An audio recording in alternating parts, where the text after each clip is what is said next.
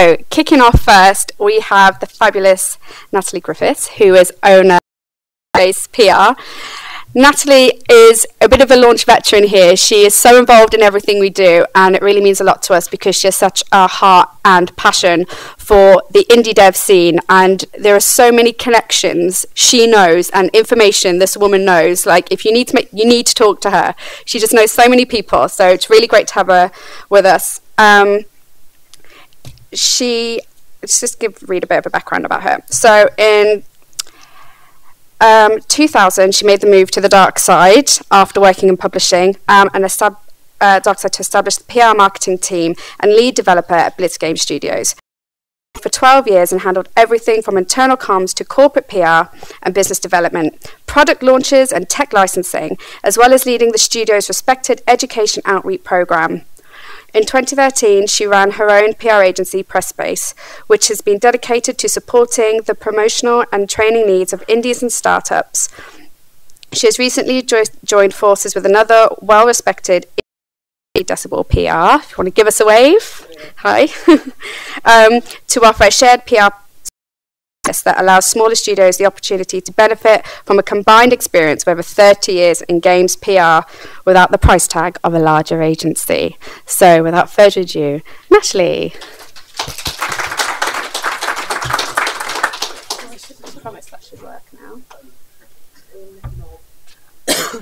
We have an interesting screensaver going on.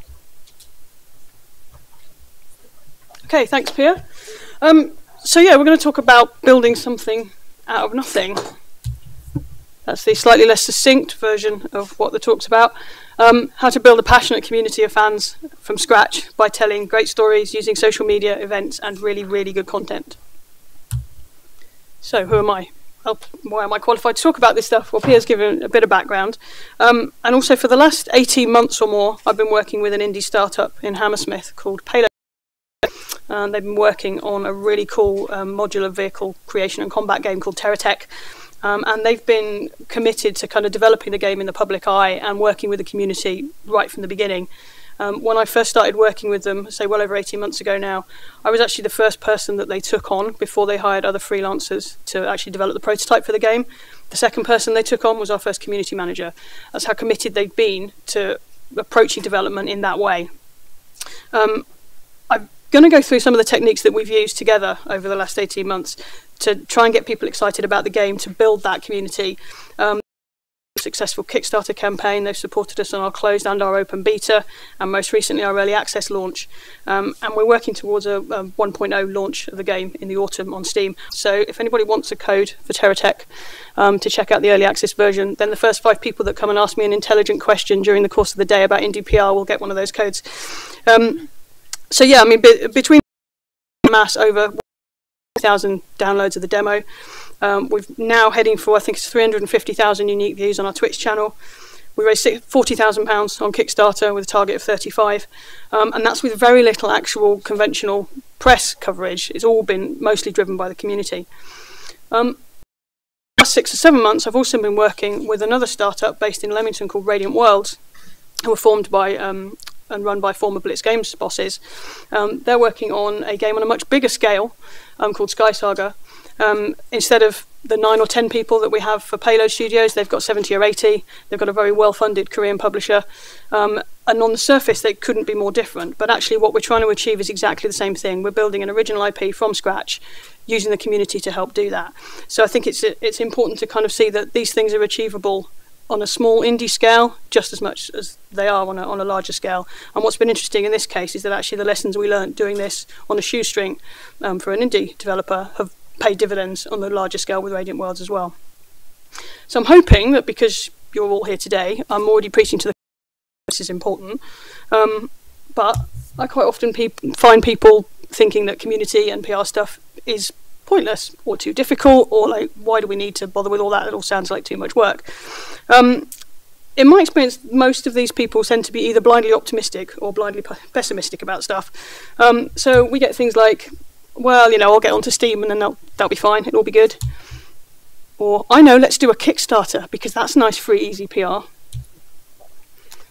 or well it's all about youtube isn't it? So i'll just i'll just email pewdiepie and then you know we'll be fine Or on the slightly more cynical side, you have, it's not about how good the game is, or that kind of thing. It's all about who you know and having those connections. Or, you know, oh, well, he only got successful because he was really lucky. Well, is there any truth in any of that stuff? Yeah, not so much. But that doesn't mean that it's not really, really hard work. So, why should we bother? Well, hopefully, as I say, I'm preaching to the choir and you guys understand that it's important. But to address some of those things, um, I think there was there was possibly a golden age of Steam, maybe for a few people um, five, six years ago, where actually simply getting on Steam was enough to be successful. Um, but it's increasingly turning into the App Store in terms of being a discoverability nightmare. You've got to point people to your game on Steam, or you're just not going to get anywhere with it. In terms of Kickstarter, I'm a big fan of Kickstarter for the right projects, but never be under any illusion that it's easy or free in any respect in terms of free publicity, free money, creative freedom. It's not. It's an enormous amount of work. It can work brilliantly for some projects, but don't think that's an easy fast track to provide the momentum from that for however long afterwards to sell your game. And yes, YouTube is super important, but the big guys make to make decisions on what they're going to cover on their channels based on what channels are covering. Likewise, they make a decision based on the tiers below them, and they all they all watch what bubbles up from the bottom. So you need to be kind of subscriber number agnostic when it comes to YouTube, and not with the smaller guys and then gradually work up. In terms of it being about who you know, that's the only one I'm going to kind of half agree with, but not in the cynical way that that's framed. It is about how good the game is, without question. But everybody that knows somebody used to not know somebody. It's all about relationship building. PR and promotional stuff has always been about that, and it always will be. So it's important that you get yourself out there early and build those relationships. And as Pia was saying, don't be afraid to you know to network and meet people. You've got loads of journalists and PR people here today. Get advice from them. Take advantage of the opportunity. And in terms of in terms of luck, I'm a big believer that you kind of that you make your own luck, but more importantly that you make your own opportunities. People have lucky serendipitous things happen to them, but actually unless you've got an idea of what you want to achieve and where you want to go, then when those lucky things happen, you're not in a position to be able to take advantage of them. So I think anybody that's that's very successful gets more lucky the more the more work that they put in. So there is so much stuff that you can do these days as an indie. Um, it's you know more democratizing than ever the ability to be able to reach straight to your potential players. But actually, where do you get started? Especially if you're you're short-handed, how do you actually see the wood for the trees? Well, like anything in life, it's all about planning. Um, you need to decide right from the beginning what you want to achieve. What is what? How is success defined for you? Out of this exercise. It may be simply down to you have to sell X number of games in order to make X amount of money in order to keep going. It might be that simple. It might be a very money driven thing. But for a lot of people, success is defined in different ways. It may be that actually all you need to achieve in this first understanding how to get a game onto a new marketplace or understanding how to work with a publisher. So think the next most important thing you need to do is actually think about what's possible. What skills do you have? And more importantly, what skills do you not have? Um, you really need to know what you don't know. Think about what you have in your team, what advice you can access from other people, who you can add to the team to do that, whether that's employing other people, joining forces with other indies, hiring agencies or consultants, it doesn't matter. The important thing is that you need to know where you're going, what you want to achieve, and what skills that you don't have if any of you have been ever worked in larger studios or been involved with recruitment processes, you'll know that it's kind of it's never it's never about um, knowing how to do somebody's job. It's always about understanding what they need in order to do their job. So when you're recruiting somebody or talking to somebody to be a consultant, you need to have an idea of what you need them to do. You need to be able to ask the right questions, and then you need to be able to brief and manage them. Um, so make sure you inform yourself on these things that that you're perhaps a little bit weak on. So once you've sorted that out and you've got some support in, you need to work out how you're going to position yourself. So you need to work out where you fit in the market and your studio offering that other people aren't. What stuff are you offering that other people already are? Because that's important to know as well. Um, make sure you know what be remembered for and respected for, and then make sure you can communicate that really clearly and really succinctly, and then be consistent with doing that right through the process. you need to then establish a presence for yourself online, or no one's going to know who you are or what you stand for. Um, that could just be a really basic website at first. Um, for those of you that haven't already checked out um, Vlambeer's Do Press Kit, I suggest you do. That's a super useful tool. And actually, if you're struggling with the positioning bit before that, then Do Press Kit is a useful kind of template because it makes you ask the right questions about yourself and about what you stand for. Also, have a think about when you're putting a website together, make it extensible. Have a think about what you might want to use it for later.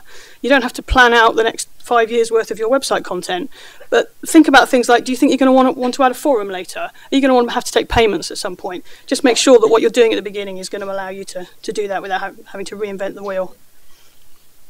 Um, social media, obviously, super important. If you haven't already got a Twitter account set up, now's the time to do it. Um, it's by far the best way to build those relationships we talked about, get to know people, journalists, other developers, other people that might be able to help you and support you along the way. Um, think carefully about things like Facebook page for your game. It may be your game doesn't actually need it. Don't just create something because other people are creating it.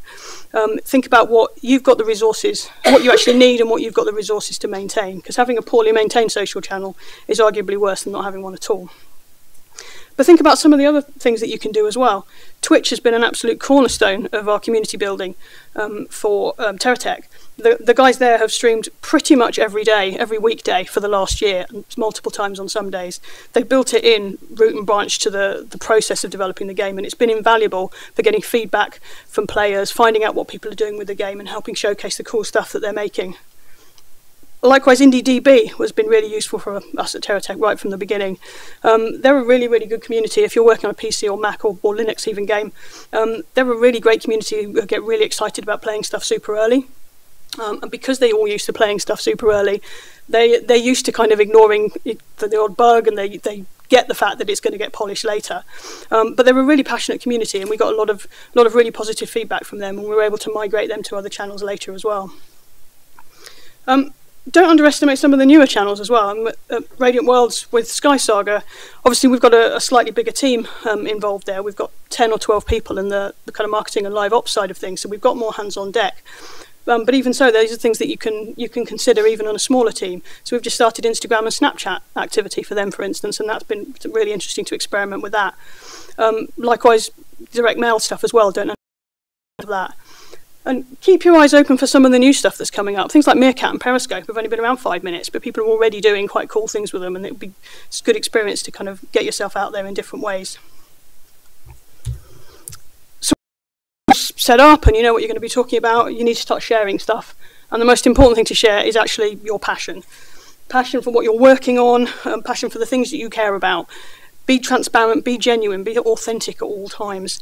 One of the kind of go-to examples I always give is, is Mike Bithell. I know he's kind of like indie PR example 101, but I remember Mike when he was a not yet graduated game designer that came to one of the student open days at Blitz. And when he first started at Blitz, he was one of the first people I knew that was really active on Twitter. Um, I don't. I think he'd be the first one to admit that he didn't really have a strategy or a plan of how he was going to do anything with any of that. Um, but he's gone on and, and really kind of ridden the wave of that. And I think what the reason why Twitter worked really well for him is that he was really authentic and open. He shared the journey with people. He brought everybody along with him for the ride.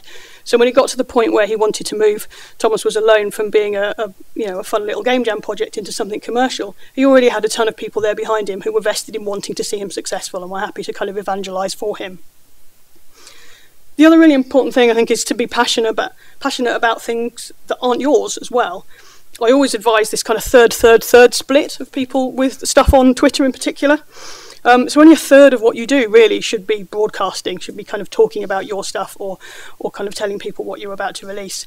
Another third of it should just be talking to people, building those relationships we talked about um, answering questions, asking questions, asking for advice, and giving it in return, getting to know people, talking about shared interests. This is how we build up relationships in, in real life. It works just the same on Twitter. And then the final third should be amplifying other people's stuff, sharing cool things other people are doing.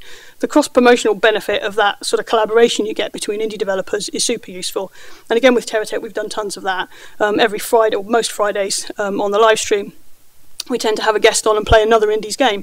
Um, and that's been a really, really useful tool for us. And that kind of karma builds, works in both directions and is a really cool thing to get involved with. But you can't just survive on chatting about stuff. You actually need to produce some content as well. So you need to make sure that that content is varied and interesting and useful and informative to people. Make sure you do a mix of visual and written content. Um, and also really try and aim for maximum reuse and repurposing of things too. I always advise all indies, I kind of challenge them to never create a piece of content that they're only going to use once. There's no point spending two days creating an amazing bit of concept art that like you use for one purpose. That's a waste of your time when your time is so precious. So have a think about it. if you have to create, you know, say an amazing bit of bit of artwork for a publisher pitch document, can you maybe turn that into the cover image on your Facebook page? Can you use it to illustrate a blog the following week? Can you push it out on Wednesday evening on the Indie Dev Hour hashtag on Twitter? There's lots of things that you can, if you're clever about it, that you can reuse things for, and then you're getting maximum maximum bang for buck. Because at the end of the day, what you're actually creating is a content marketing plan, which probably is the kind of phrase that makes most of you roll your eyes, and it's not the sort of thing that you really wanted to create when you became an indie developer. But actually, that's what you're doing, and that's the kind of stuff that's going to get people interested in your story but make sure that that content plan is tied really closely to your development plan as well. There's no point crippling yourself and creating a whole load of stuff that you're not planning to put into the game for six months. That's just silly.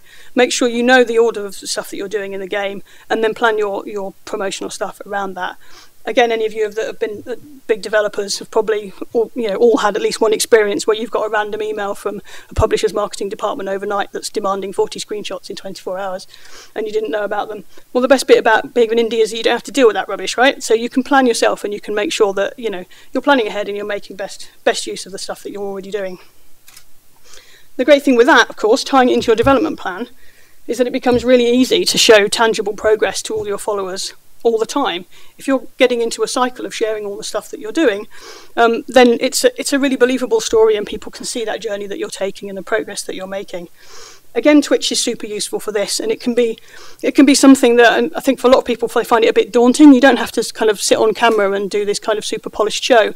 Um, a lot of the a lot of the streaming the guys do during the day for TerraTech um, is through the game development channel on Twitch, which is really really useful and gets you a whole load of kind of extra eyeballs that wouldn't normally be following your game. And we hook up the um, the live stream system to one of the artists or the animators or one of the coders, and they literally just they don't even narrate it. They actually just street, live stream what they're doing, and loads of people are really interested in that kind of thing. So think about ways that you can do without impacting the work you're doing on the game. But it's not about just broadcasting news and sharing stuff with people like that. It's really important to get out in the public eye as well and actually get let people get their hands on your stuff early. So that might be the demos on IndieDB, for instance. Um, and as I say, that worked really well for TerraTech, but also going to events and shows has been super useful for us. We must have done 12, 15 shows in the last 18 months, and they've all been incredibly useful, and they've all uh, brought something to light that we hadn't noticed before without that you, you just don't get you know from not watching people play the game. The first time we took the the game to a public show was at Rezzed last year at the NEC, um, and the guys had recently. So it's all about building modular vehicles with like little Lego parts that you snap together. And they all have different powers and abilities. Um, and the guys had just put on some um, rocket booster blocks, and they were designed to to be put on to face backwards to just create extra speed on the flat. Um, but within a couple of hours of the show opening, somebody rotated them, pointed them down to the ground, and fired themselves up in the air. Because the whole game's based on a realistic physics engine, it was like, okay, wow, now we've got rockets. And it's un- unbelievable for the team that they don't know why they didn't think that people were going to do that. But we saw it happen. Russ, the um, founder and lead coder, went home that night, coded in a flying challenge mode, brought it back in the next day, and we had people playing for hours and coming back time and time again to just get involved in that. We've now got a whole feature set in there that's based on flying vehicles with wings and propellers and the whole thing. And that, and maybe that's something that we might have come up with, and the team might have come up with as they went through development on the game. But it was stemmed from something that happened at a show with the community playing it, and the fact that we could then feed that back and show that we were reacting immediately to people engaging with the game is a really powerful story in itself. The other thing is don't be afraid to show press early. There's lots of press here. If you've got games with you, please show them. Um, most experienced journalists, and certainly everybody that's here today, is again like the IndieDB crowd. They're used to seeing things that are rough around the edges. They know things that will be improved. They're not going to judge you for that. Um, I think it's I get I always get really frustrated when people try to be over secretive with stuff.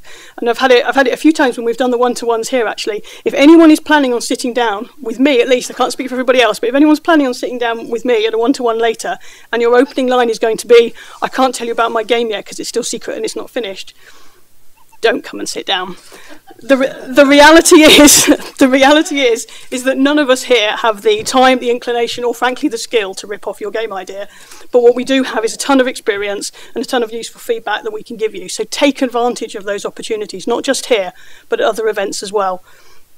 Um, the Rami from um, Vlambeer talks quite a lot about this and about the idea of um, the experiences they had when they had ridiculous fishing cloned. And even he says that actually getting out there early and having shown other people just helped their case that they'd been doing it first. So you've got nothing to be lost by doing that. The same's true with you know with YouTubers and stuff too. Like I said, you have to start reaching out early. You need to build these relationships early. Um, and some of the, the very small channels that we engaged with kind of six, nine months ago on YouTube for TerraTech, um, they were perhaps growing channels. We allowed them to, to stream the game, to monetize it, to do whatever they wanted with it.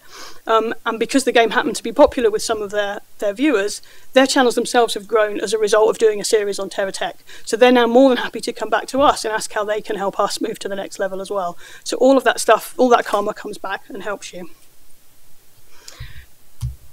So the important thing to know with all this is that it all seems a bit daunting and there's all a million things you can be doing and you don't know where to start.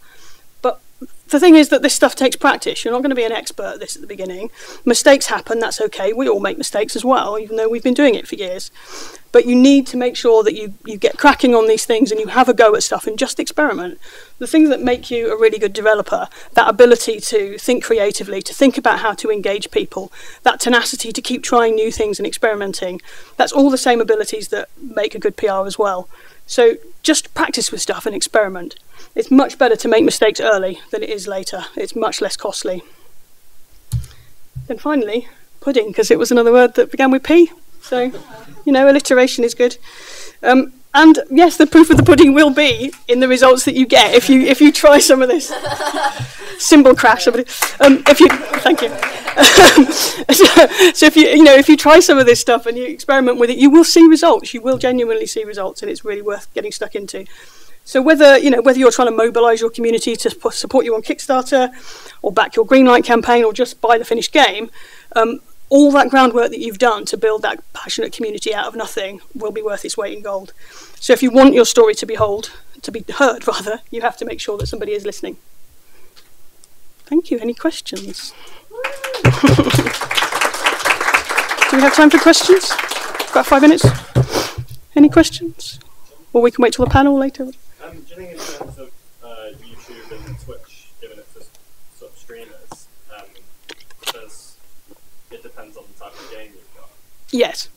Um, Yeah, absolutely. Some things are going to be more suited for streaming or for YouTubers than others. I I mean, in terms of like timing, because I've been, well, I've talked to a few people who, who recommend leaving Twitch until literally like maximum two weeks before launch, and then preferably at launch, so you don't get like Twitch streamers burn out on your game before it's even. I think I think if you're approaching third-party streamers, there's an argument for that. Again, depending on the kind of game that you're working on and what kind of build-up you want. In terms of streaming yourself, though, I'd argue do it as early as possible and get Oh, people yes, engaged with yeah, it. yeah, I But yeah, approaching other people, you need to be careful with the timing. Yeah, But for YouTube, you, think it's a different ballgame. I, th- I think it is. I think you can get away with stuff earlier with YouTube than you can with Twitch at the minute. That's probably just more to do with the maturity of the channel and the kind of games that are being covered on it at the moment. TerraTech as but- um, like a very, it's the type of game you play a lot. Exactly, it's a very kind of performative, um, creative kind of free type game, and yes, and that does lend itself a lot more.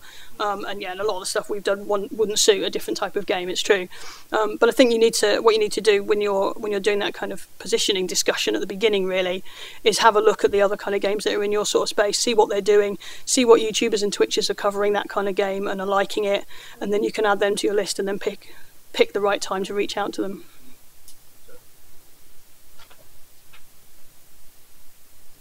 No, should we stop? Great, great. Thank you very much. Sure. Smooth.